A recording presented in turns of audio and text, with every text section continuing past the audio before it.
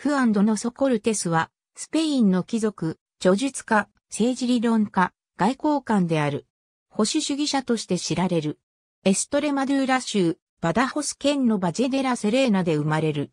聖家は、コンキスタドールのエルナン・コルテスの子孫であり、父のドン・ペドロは弁護士で、フランス啓蒙主義や自由主義の影響を受けていた。11歳の時には人文学を収め、12歳でサラマンカ大学に進み法律を学んだ。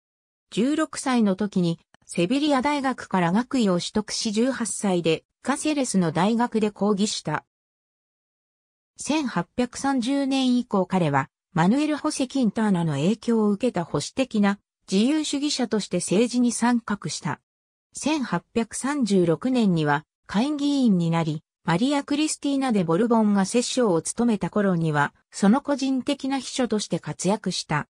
しかし1840年以降、バルドメロ・エスパルテロ将軍率いる進歩主義者とラモン・ナルバイス将軍を中心とする保守主義者が争うようになり、エスパルテイロ一派が政権を握ったためドノソコルテスはマリア・クリスティーナ摂政と共にパリへ亡命を余儀なくされる。このパリ時代にドノソコルテスはジョゼフ・ド・メイストルやルイ・ガブリエル・ド・ボナールの著作に接し、カトリシズムへと傾斜するようになった。1843年にはナルバイス将軍が政権を奪還し、マリア・クリスティーナ摂政と共に帰国する。ドノソコルテスは2月革命に危機感を抱いた。翌年のローマ共和国樹立に際しては自由主義が革命を助長するだけだったと考え、保守反動の立場へと完全に転向する。彼は1849年1月、マドリード議会で独裁に関する講演という題で演説し、2月、革命はヨーロッパ文明の崩壊をもたらすものであり、革命に対する救済策はカトリシズムへの帰依であると主張した。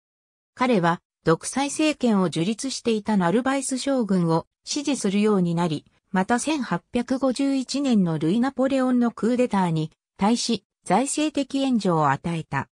1849年の2月から11月までベルリンにスペイン大使として赴任し、1851年の2月から死の1853年5月3日までパリでスペイン大使として勤務した。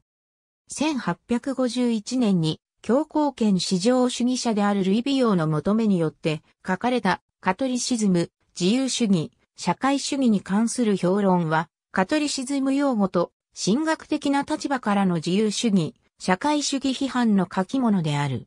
ドイツの国法学者、カール・シュミットは、ドノソコルテスから多大な影響を受けている。シュミットの著書、政治神学の終章は、ドノソコルテスに捧げられた。ありがとうございます。